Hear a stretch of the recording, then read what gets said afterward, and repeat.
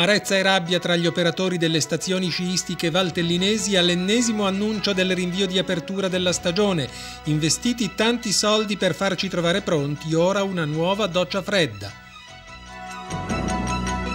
600 lavoratori del comparto appesi a un filo e le società impianti alle prese con grandi spese. Dagli addetti ai lavori al mondo della politica una sola richiesta, subito ristori certi e adeguati alle perdite subite.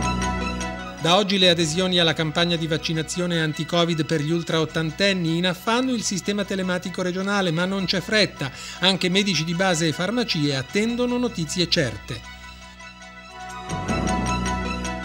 In atteso quarto posto di Elena Curtoni nella gara di combinata ai mondiali di sci di Cortina, la trentenne di Cosio Valtellino va oltre le previsioni e si conferma la migliore delle azzurre. Ora tocca a Irene.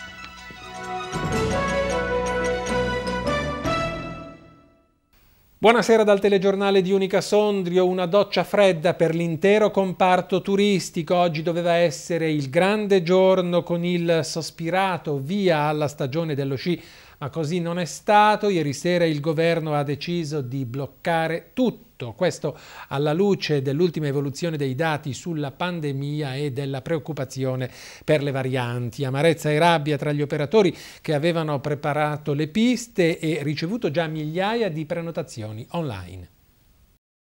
Immagini surreali, tanta neve, scenari mozzafiato, piste battute alla perfezione dopo una settimana di lavoro e poi quando tutto ormai sembrava pronto nel rispetto delle norme di sicurezza, la doccia fredda con la decisione di non aprire gli impianti alla vigilia del tanto atteso di Day. Così i tracciati nevati sono rimasti deserti, nei ristori le provviste di questi giorni congelate nei freezer, mentre le società di impianti contano le perdite di una stagione disgraziata e centinaia e centinaia di persone hanno perso anche l'ultima speranza di tornare a lavorare. Quella che vedete alle mie spalle, l'Asno Eagle, era pronta questa mattina ad entrare in funzione dopo una stagione di attesa, ma purtroppo non è stato così. Ieri sera alla doccia fredda, alle 19, il ministro Speranza ha deciso gli impianti restano fermi. Una grande delusione sia per tutti gli operatori turistici, ma anche per le persone che avevano raggiunto la Valmalenco per la prima giornata di sci.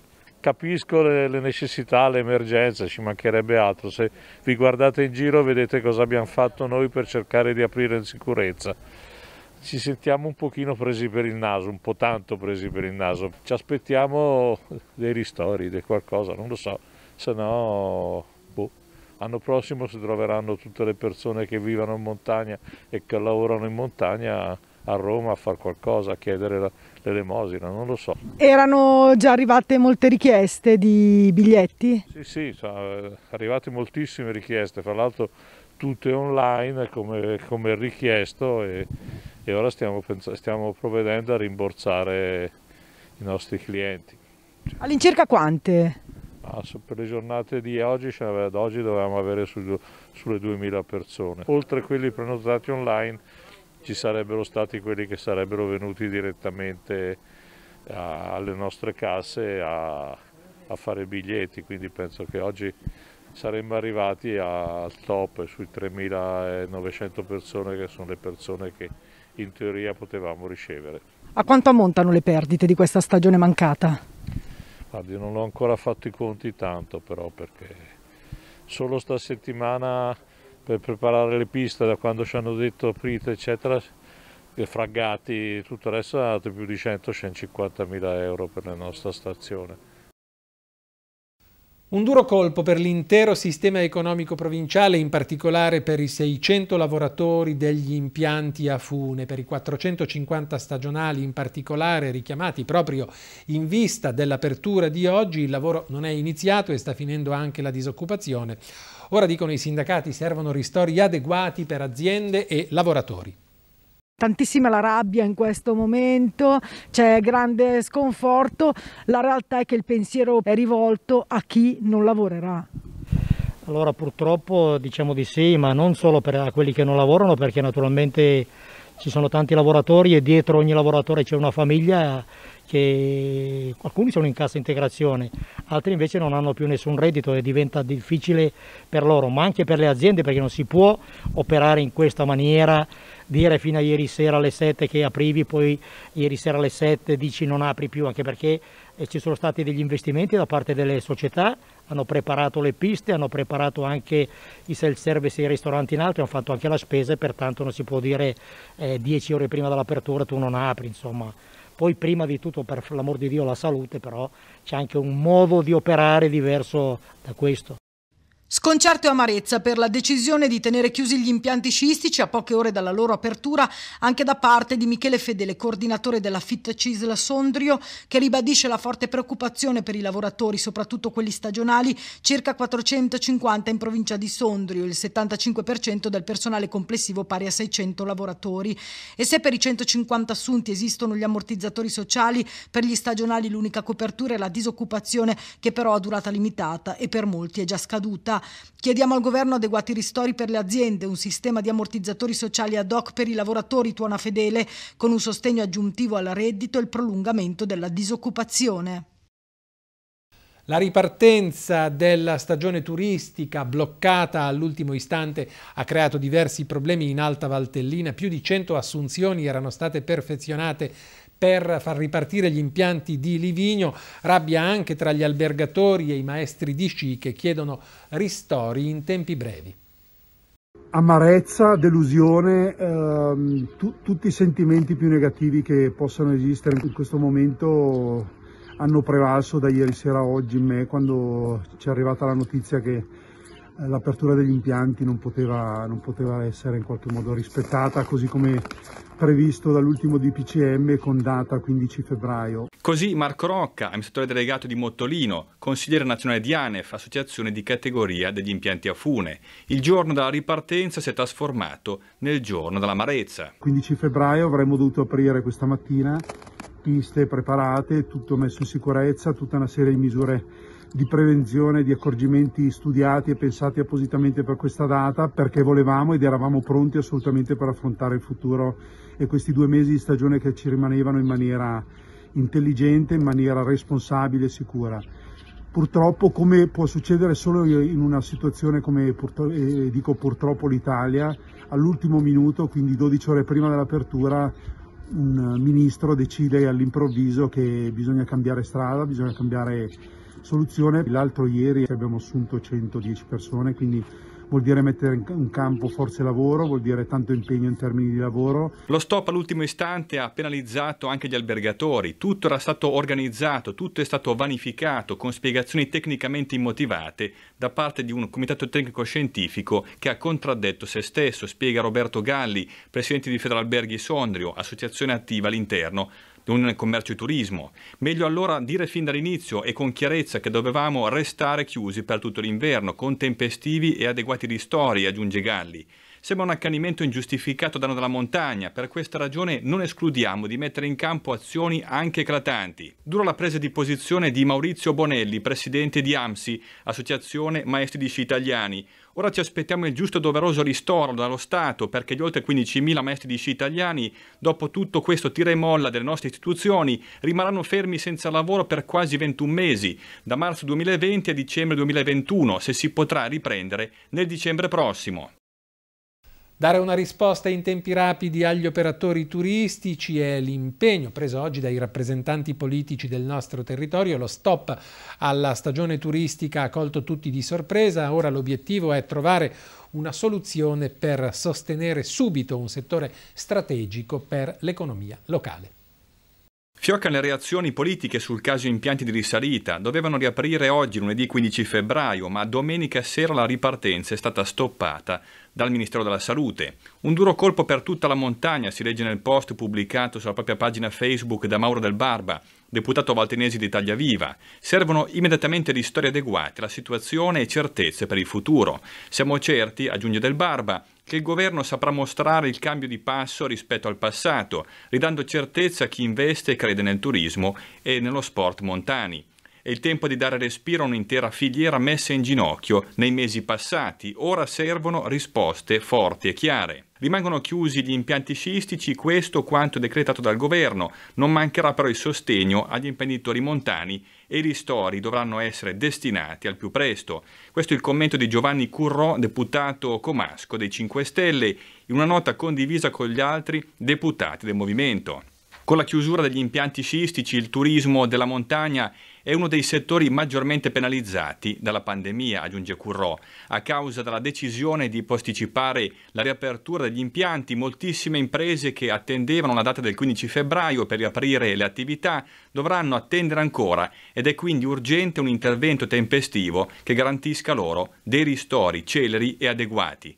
Ed ecco il commento di Massimo Sertori, assessore regionale montagna. Si sono attivati tutti a partire dagli operatori, gli impiantisti, hanno predisposto e preparato piste, hanno investito soldi, hanno assunto persone, eh, si sono attivati i ristoratori, gli albergatori, i noleggiatori, i maestri di sci, tutto il comparto, tutta la filiera si è attivata e poi a poche ore dall'apertura arriva un, un, provvedimento, in questo caso del Ministro Speranza, che blocca tutto. Ecco, io credo che questo metodo non sia assolutamente accettabile. A favore dei ristori, il neoministro al turismo Massimo Garavaglia, che oggi ha incontrato la Regione. Per parlare immediatamente di indennizi, perché il danno è rilevante, e bisognerà portare avanti immediatamente ristori indennizi che devono essere certi, devono essere immediati. La scelta dell'ultimo minuto, a pochissime ore dalla prevista riapertura decisa una settimana fa di rinviare nuovamente la stagione sciistica, dichiara il segretario provinciale del PD Michele Iannotti, presa l'esecutivo nel suo complesso, rende quanto mai urgente procedere da subito con ristori e risarcimenti adeguati alle imprese e a tutti i lavoratori che in montagna tengono in piedi un'economia fondamentale per territori come il nostro.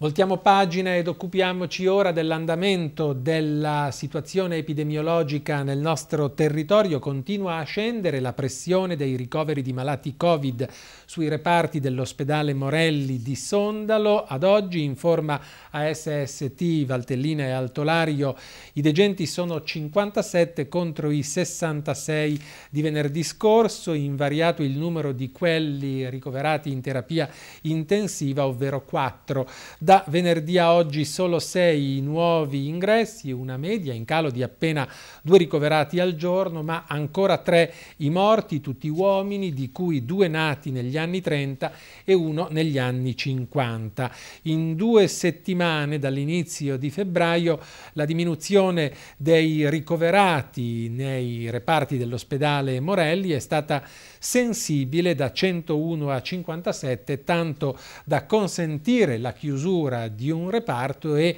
di riattivare invece altri servizi che erano stati sospesi. Ma oggi era una giornata importante soprattutto per eh, l'avvio delle adesioni alla campagna di vaccinazione anti-Covid per le persone con 80 anni e più. Molti si sono affrettati mandando in affanno il sistema telematico della regione, anche medici e farmacisti sono sotto pressione e attendono indicazioni certe, ma la raccomandazione è non c'è urgenza.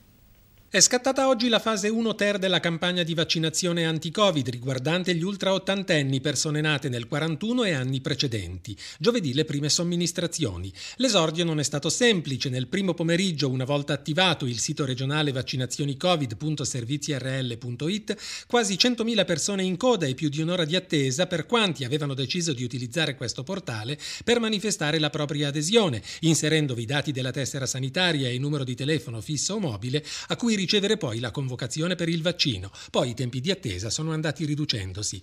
Due dunque le fasi. Prima si manifesta la volontà di aderire alla vaccinazione, poi si riceve tramite sms o telefonata l'appuntamento per la prima dose, in occasione del quale sarà comunicata anche la data della seconda dose. Possono inserire la richiesta e i relativi dati anche i familiari e i caregiver della persona da vaccinare.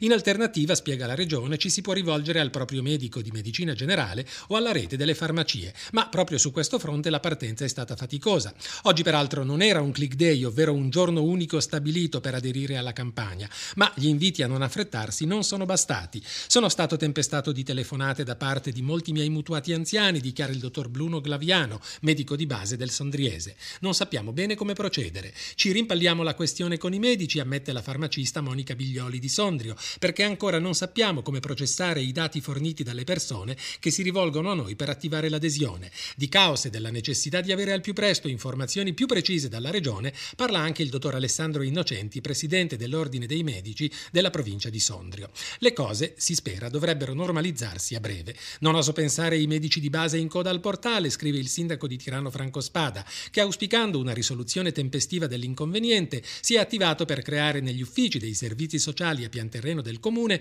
uno sportello al cittadino per semplificare, a chi non è esperto di computer, le operazioni di prenotazione. Rivolgendosi agli anziani, Spada rassicura: non c'è fretta, nessuno rimarrà escluso, facciamo le cose con calma, evitiamo nervosismo e arrabbiature. Intanto ATS è impegnata con i comuni ad individuare i centri vaccinali che non saranno gli ambulatori dei medici, ma spazi più ampi. Le persone inferme o allettate riceveranno il vaccino a domicilio dal proprio medico, cui l'adesione potrà essere espressa anche da un familiare. Dopo due ore dall'avvio del portale, oltre 12.000 le adesioni al vaccino da parte di ultra ottantenni, circa 1.500 quelle effettuate tramite farmacie, meno di 100 dai medici di base. Gli utenti in coda hanno raggiunto quota 114.000, ma il sistema non è andato in tilt, spiega la Regione, si è trattato di un rallentamento nell'invio dell'SMS di validazione del numero di cellulare inserito da parte del gestore telefonico già sollecitato a risolvere al più presto la problematica. L'adesione può essere data senza fretta anche nei prossimi giorni, rassicura la Regione. L'ordine di registrazione sulla piattaforma peraltro non corrisponde all'ordine in cui si verrà vaccinati. Priorità sarà data agli ultra centenari, poi si passerà agli ultra novantenni sino a quelli nati nel 1941. Nuovo importante incarico per Mirko Dolzadelli, dirigente sindacale nato e residente in Val Chiavenna. Oggi è stato eletto alla guida della FIM Lombardia, il sindacato metalmeccanici della CISL che conta 50.000 iscritti. Dolzadelli è anche componente della segreteria regionale e responsabile nazionale frontalieri della CISL. La sua elezione è avvenuta stamane all'Auditorium Pime di Milano, dove si è riunito il Consiglio generale dell'organizzazione. Nato nel 1974, Mirko Dolzadelli si è iscritto alla CISL nel 91 e ha iniziato la sua carriera sindacale nel 95. A metà 2002 l'ingresso nella categoria dei metalmeccanici, nella quale ha ricoperto dal 2004 2004 al 2012 il ruolo di segretario provinciale, poi nel novembre dello stesso anno il ruolo di segretario generale della CISL in provincia di Sondrio. A febbraio 2017 l'elezione a componente della segreteria regionale. Dobbiamo essere consapevoli che questa delicata fase storica, spiega Dolzadelli, non ci chiede solo di essere custodi di valori come la solidarietà, la responsabilità, l'uguaglianza e la libertà, questo tempo ci chiede di tradurli in nuove conquiste e tutele per lavoratrici e lavoratori. E chiudiamo con lo sport, ottimo quarto posto di Elena Curtoni nella gara di combinata ai mondiali di sci alpino di Cortina d'Ampezzo, seconda dopo la prova di discesa la trentenne di Cosio nelle immagini del profilo Instagram della Fisi. È retrocessa di due posizioni al termine della manche di slalom, specialità a lei meno familiare. Se è vero che nelle rassegne iridate contano solo le medaglie, sia per atteggiamento che per prestazione, la valtellinese però può ritenersi soddisfatta del risultato, anche stavolta il migliore della squadra azzurra, come già era accaduto sabato, quando Elena era giunta ottava nella gara valida per il titolo della discesa libera. Ora la minore delle due sorelle Curtoni cede idealmente il testimone alla maggiore, Irene, che sarà impegnata nello slalom. È tutto per questa edizione del nostro telegiornale. Come sempre vi ricordo che potete seguire i programmi di Unica TV sui canali 12 e 193 del digitale terrestre, ma ovunque voi siate e quando volete ci trovate anche sulle nostre pagine dei social YouTube, Facebook e Instagram e sul nostro portale www.teleunica.com. Grazie per averci seguito, buona serata.